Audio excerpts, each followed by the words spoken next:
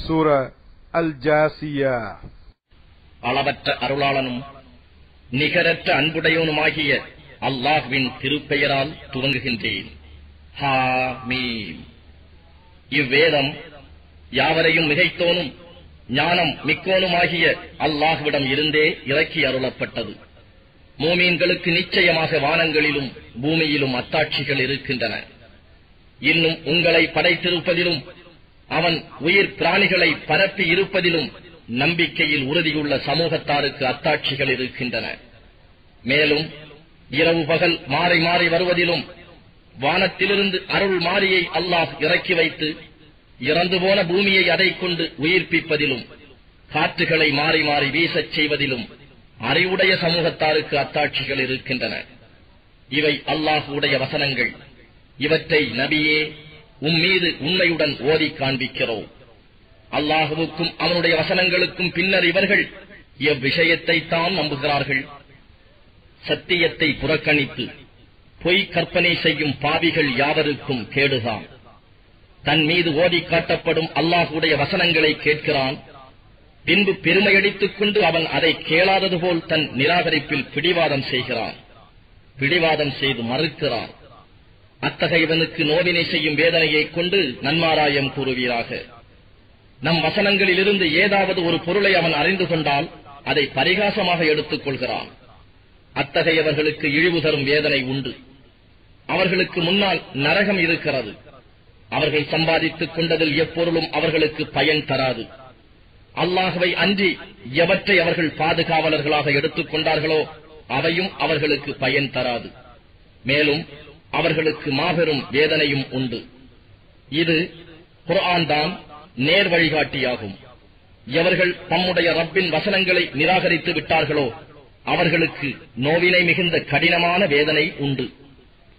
கப்பல்கள் அவன் கட்டளையை கொண்டு கடலில் செல்லும் பொருட்டும் நீங்கள் அவனுடைய அருளை தேடிக்கொள்ளும் பொருட்டும் மேலும் அவனுக்கு நன்றி செலுத்தும் பொருட்டும் உங்களுக்கு கடலை வசப்படுத்தி கொடுத்தவன் அல்லாஹ்வே ஆவான்.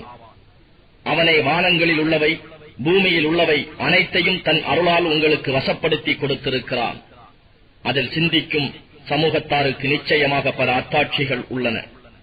ஈமான் கொண்டவர்களுக்கு நபியே நீர் கூறிவிடும் அல்லாஹுடைய தண்டனைக்கான நாட்களை நம்பாதவர்களை அவர்கள் மன்னித்து அவர்களை பற்றி அல்லாஹுவிடம் பரஞ்சாட்டி விடட்டும் ஜனங்களுக்கு அவர்கள் தேடிக்கொண்ட வினைக்கு தக்க பலனை அவன் கொடுப்பான். எவர் சாலிகான நல்ல அமலை செய்கிறாரோ அது அவருக்கே நன்மையாகும். அன்றியும் எவர் தீமையை செய்கிறாரோ அது அவருக்கே தீமையாகும். பின்னர் நீங்கள் உங்கள் இறைவனிடமே மீட்டப்படுவீர்கள். நிச்சயமாக நாம் இஸ்ராயலின் சந்ததியினருக்கு வேலத்தையும் அதிகாரத்தையும் நுபுவத்தையும் கொடுத்தோ. அவர்களுக்கு மனமான உணவு வசதிகளையும் கொடுத்தோ. அன்றியும் அகிலத்தாரில் அவர்களை மேன்மையாக்கினோ. அவர்களுக்கு மார்க்க விஷயத்தில் தெளிவான கட்டளைகளையும் கொடுத்தோ. எனினும் அவர்களுக்கு இடையே உண்டான பொறாமையினால் அவர்களுக்கு வேத ஞானம் வந்த பின்னரும் அவர்கள் அபிப்பிராய பேதம் கொண்டார்கள். நிச்சயமாகவும் இறைவன் அவர்கள் எதில் அபிப்பிராய பேதம் கொண்டிருந்தார்களோ அதில் கியாம நாளில் அவர்களிடையே தீர்ப்பு செய்வான். இதன் பின்னர் உம்மை ஷரீஅத்தில் மார்க்கத்தில் ஒரு நேரான வழியில் நாம் ஆக்கியுள்ளோம். ஆகவே நீர் அதனையே பின்பற்றுவீராக. அன்றியும் அறியாமல் இருக்கின்றார்களே அவர்களின் விருப்பங்களை பின்பற்றாதீர். நிச்சயமாக அவர்கள் அல்லாஹுவுக்கு எதிராக உமக்கு யாதொரு உதவியும் செய்துவிட முடியாது. இன்னும் நிச்சயமாக அநியாயக்காரர்களில் சிலர் சிலருக்கு பாதுகாவலர்களாக இருக்கிறார்கள். ஆனால் பயபக்தி உடையவர்களுக்கு அல்லாஹுவே பாதுகாவலன் ஆவான்.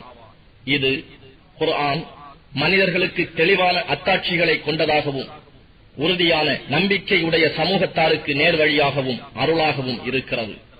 எவர்கள் தீமைகள் செய்கிறார்களோ அவர்களை எவர்கள் ஈமான் கொண்டு நற்கர்மங்கள் செய்கிறார்களோ அவர்களுக்கு சமமாக நாம் ஆக்கிவிடுவோம் என்று எண்ணுகின்றார்களா? அவர்கள் உயிருடன் இருப்பதும் மரணம் அடைவதும் சமமாகுமா? அவர்கள் முடிவு செய்து கொண்டது மிகவும் கெட்டதாகும். வானங்களையும் பூமியையும் அல்லாஹ் உண்மையுடன் தக்க காரணத்தை கொண்டே படைத்துள்ளான். ஒவ்வொரு ஆத்மாவுக்கும் அது தேடிக்கொண்டதற்கு தக்க கூலி கொடுக்கப்படுவதற்காக அவை அநியாயம் செய்யப்பட மாட்டா நபியே எவன் தன்னுடைய சரீர மனோ இச்சையை தன்னுடைய தெய்வமாக ஆக்கிக் கொண்டானோ அவனை நீர் பார்த்தீரா? மேலும் அறிந்தே அல்லாஹ் அவனை வழிகேட்டில் விட்டு அவனுடைய காதுகள் மீதும் இருதயத்தின் மீதும் முத்திரையிட்டு இன்னும் அவனுடைய பார்வை மீதும் திரையை அமைத்து விட்டான் எனவே அல்லாஹுவுக்கு பிறகு அவனுக்கு நேர்வழி காண்பிப்பவர் யார்? நீங்கள் சிந்தித்து உணர வேண்டாமா? மேலும் மறுமையை நம்பாத அவர்கள் நமது இந்த உலக வாழ்க்கையை தவிர வேறு வாழ்க்கை கிடையாது. நாம் இறக்கிறோம் ஜீவிக்கிறோம் காலம் தவிர வேறு எதுவும் நம்மை அழிப்பதில்லை என்று கூறுகிறார்கள். அவர்களுக்கு அது பற்றிய அறிவு கிடையாது. அவர்கள் இது பற்றி கற்பனையாக எண்ணுவதை தவிர வேறு இல்லை அவர்களிடம் தெளிவான நம் வசனங்கள் ஓதி காண்பிக்கப்பட்டால் அவர்களுடைய வாதமெல்லாம் நீங்கள் உண்மையாளர்களாக இருந்தால் எங்களுடைய மூதாதையரை எழுப்பிக் கொண்டு வாருங்கள் என்பது தவிர வேறில்லை. அல்லாஹ் உங்களுக்கு உயிர் கொடுக்கிறான் பின்னர் அவனே உங்களை மரணமடையச் செய்கிறான். பின்னர் மறுமை நாளன்று அவன் உங்களை ஒன்று சேர்ப்பான். இதில் சந்தேகமே இல்லை. எனினும் மனிதரில் பெரும்பாலோர் இதை அறிய மாட்டார்கள் என்று நபியே நீர் கூறும். அன்றியும் வானங்களுடையவும் பூமியுடையவும் ஆட்சி அல்லாஹுவுக்கே உரியது. மேலும் இறுதி தீர்ப்புக்கான வேலை வந்து வாய்க்கும் நாளில் பொய்யர்கள் நஷ்டமடைவார்கள். அன்று ஒவ்வொரு சமுதாயத்தையும் முழந்தாளிட்டிருக்க நபியே நீர் காண்பீர். ஒவ்வொரு சமுதாயமும் அதனதன் பதிவு புத்தகத்தின் பக்கம் அழைக்கப்படும். அன்று நீங்கள் உலகில் செய்து இருந்ததற்கு உரிய கூலி கொடுக்கப்படுவீர்கள். இது உங்களை பற்றிய உண்மையை கூறும் நம்முடைய புத்தகம். நிச்சயமாக நாம் நீங்கள் செய்து வந்ததை பதிவு செய்து கொண்டிருந்தோம் என்று கூறப்படும். ஆகவே எவர்கள் நம்பிக்கை கொண்டு நற்கர்மங்கள் செய்து வந்தார்களோ அவர்களை அவர்களுடைய இறைவன் தன் அருளில் பிரவேசிக்கச் செய்வான். அதுவே தெளிவான வெற்றியாகும். ஆனால் நிராகரித்தவர்களிடம் உங்களுக்கு என் வசனங்கள் ஓதி காண்பிக்கப்பட்டுக் கொண்டு இருக்கவில்லையா? அப்பொழுது நீங்கள் பெருமையடித்துக் கொண்டு குற்றவாளிகளாக இருந்தீர்கள் என்று சொல்லப்படும். மேலும் நிச்சயமாக அல்லாஹுவின் வாக்குறுதி உண்மையானது. மறுமை நாள் அது பற்றியும் சந்தேகம் இல்லை என்று அவர்களிடம் கூறப்பட்ட போது மறுமை நாள் என்ன என்று நாங்கள் அறியோம். அது ஒரு வெறும் கற்பனை என்றே நாங்கள் கருதுகிறோம்.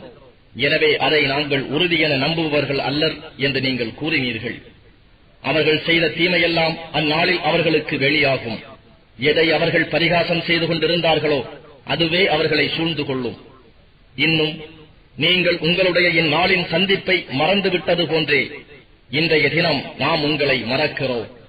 அன்றியும் நீங்கள் தங்குமிடம் நரகம்தான். மேலும் உங்களுக்கு உதவி செய்பவர் எவரும் இல்லை என்று அவர்களுக்கு கூறப்படும். இதற்கு காரணம் நீங்கள் அல்லாஹுவின் வசனங்களை ஏளனமாக எடுத்துக் கொண்டீர்கள் இவ்வுலக வாழ்க்கையும் உங்களை மயக்கி ஏமாற்றிவிட்டது என்றும் கூறப்படும். எனவே அன்றைய தினத்திலிருந்து அவர்கள் அதிலிருந்து வெளியாக்கப்பட மாட்டார்கள். அவர்களின் மன்னிப்பு கோருதலும் ஏற்றுக்கொள்ளப்பட மாட்டாது.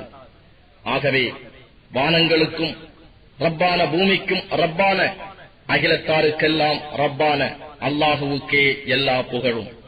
இன்னும் வானங்களிலும் பூமியிலும் உள்ள பெருமை அவனுக்கே உரியது. மேலும் அவன்தான் யாவரையும் மிகைத்தவன் ஞானம் மிக்கோன்.